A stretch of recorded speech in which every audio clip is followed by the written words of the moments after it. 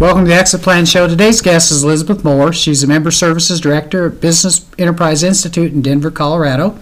Uh, stick around the end. We're going to give you an opportunity to subscribe to a newsletter and also win a free copy of the number one book about exit planning. Thank you to Zarlingo Rob, CPAs and Business Advisors in Wheat Ridge, Colorado, for providing a location for us to film this episode. At Zarlingo Rob, they think like business owners. For more information about Zarlingo Rob, please click the link in our website show notes. Hi, I'm Norman A. Hood, financial advisor and host of the Exit Plan Show.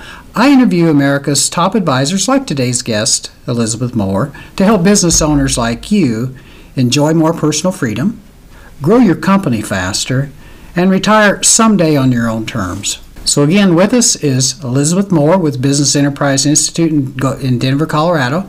She manages a national network of exit planning professionals. And if you want more information about Elizabeth or Business Enterprise Institute, you can check out the show notes at the end of this episode.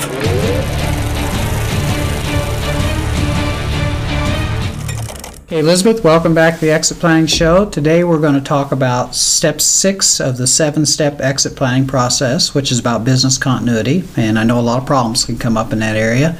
Uh, what are some of the ones you see most often? You know, Norm, we see a lot of different kinds of problems when we're looking at business continuity because in exit planning, continuity is really more about a broad look at the company and it's not so much about just, you know, what's going to happen to your ownership if something happens to you.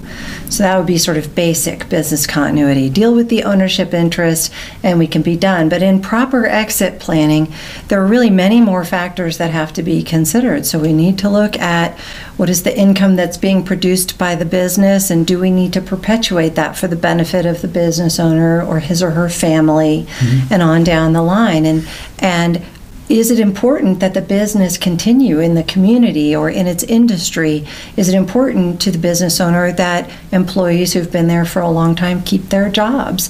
If something happens to this business owner, are the business owner's personal assets or personal wealth, so uh, anything from real estate to investments to other kinds of accounts, are those pledged? Are they at risk? For business activities, business owners often have signed personal guarantees for all kinds of business obligations that their family or their estate are going to have to come make good on uh, at the time that something happens to the business owner. So, business continuity should really be about something along the lines of continuity of ownership and continuity of leadership in the business, continuity of the company overall and its activities in the community in the industry and in its relationship with the business owner's family. So when you start to look at this, it's sort of much more multifaceted than traditional continuity planning that just involved buying an insurance policy and putting it somewhere and having a buy sell agreement or talking to someone about them taking over the business if something happens to you. We really need to do more complete planning than that. So the biggest challenge that we have is really is really dealing with the expectation of business owners that something will be taken care of in their business, even though they haven't done the proper planning to make that the case. So, business continuity solutions are really much more important as we go forward in riskier times and with business owners who've got greater level of difficulty in finding purchasers for their business and in finding successor owners that they can rely on and what we try to do in our exit planning comprehensive approach is to say, okay, how can we deal with all of these situations at once? And what kinds of planning would allow us to protect the family, protect the estate, protect the business? Protect employees and their jobs if that's something that's important, protect the company, protect the welfare of anyone else that's connected to the business.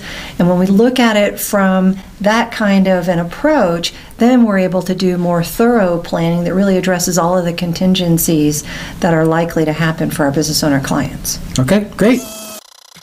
For more information about uh, the problems that occur in step six, uh, please visit our website. You can check out the show notes, and you can also find more information about Elizabeth and Business Enterprise Institute. Uh, while you're on our website, please subscribe to our newsletter, which also gives you an opportunity to win a copy of the number one selling book about exit planning.